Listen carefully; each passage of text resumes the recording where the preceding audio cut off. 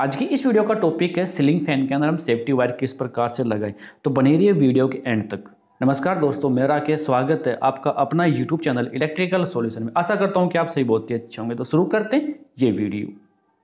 Ceiling fan के साथ इस प्रकार का सेफ्टी वायर आता है। तो इसका सही तरीके से अगर आपने इस्तेमाल नहीं किया तो ये वायर भी वहाँ पे गलत अगर लगा दिया तो किसी काम का नहीं है। तो यहाँ पे कुछ इंस्ट्रक्शन है, आप यहाँ पे देख के इसको लगा भी सकते हैं। तो मैं आपको यहाँ पे इस वीडियो में पूरी जानकारी दे रहा हूँ। तो यहाँ पे देखिएगा, जो सेफ्टी वायर है तो पहले इसको यहाँ से स्क्रू को खोल लेना है। यानी कि जो वायर है, ये बाहर निकल जाए यहाँ से। देखिए इस प्रकार से। अब हम इस वायर को क्या करेंगे? जहाँ पे ये कनेक्टर लगा हुआ है, यहाँ पे देखिए कनेक्टर के ऊपर यहाँ पे एक पिन यहाँ पे लॉक लगा हुआ है। तो इस बीच में जो होल है, यहाँ से हमें इस सेफ्टी वायर को बाहर निकालना है। तो देखिए अब यहाँ पे ये लॉक हो चुका है। अब हम इस सेफ्टी वायर को, ये जो रोड है पाइप है, इसके अंदर से हम ऊपर की तरफ़ निकालेंगे। तो यहाँ पे आप देख पा रहे हैं। देखिए, इस तरीके से हम अगर इसको नीचे से धक्का देंगे तो ये सेफ्टी वायर ऊपर की तरफ़ निकल जाएगा। तो यहाँ पे आपको ये सेफ्टी वायर दिखाई दे रहा है। अभी सेफ्टी वायर को मैं यहाँ पे ऊपर निकाल लेता हूँ।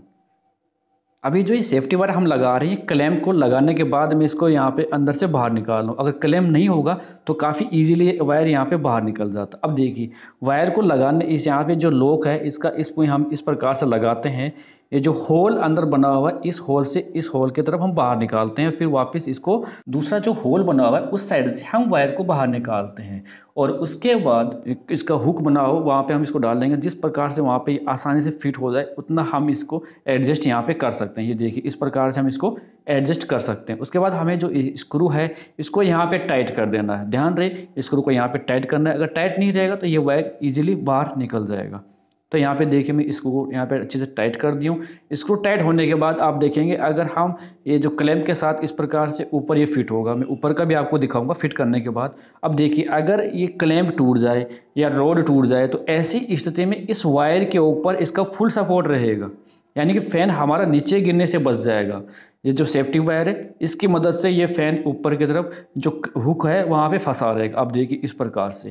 तो चलिए मैं अभी इसका जो वायर को हम लगाते हैं नीचे से, ध्यान रहे, अगर जो कनेक्शन वाला वायर निकला है, वहाँ से इसको नहीं निकालना है। उसके अलावा जो दूसरा होल है, वहाँ जो पाइप का, उसमें से हम बाहर निकालते हैं।